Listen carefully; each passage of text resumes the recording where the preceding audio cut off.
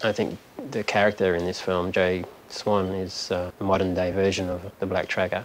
In some ways, maybe more complex because in the past, Black Tracker was taken from his home country and taken to a totally different territory where he had no social contact, no connection.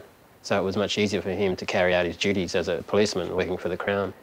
But for someone like Jay Swan, he's gone back to become a detective in his own community, in his own town. How's it going, Jim? Nice to see you back, detective. He has to work his way between the white-dominated local police who have very limited cultural sensitivity at the same time as negotiating his way through the local community. And so the pressures are very big for someone like him. How do you sleep at night? Locking up your own people all the time. I'm always interested in the black tracker because it's something I feel I identify a bit with growing up in an Aboriginal community, but also having to function in the wider white society. Are you a real cobber, are you? One of them black trackers who turns on his own type.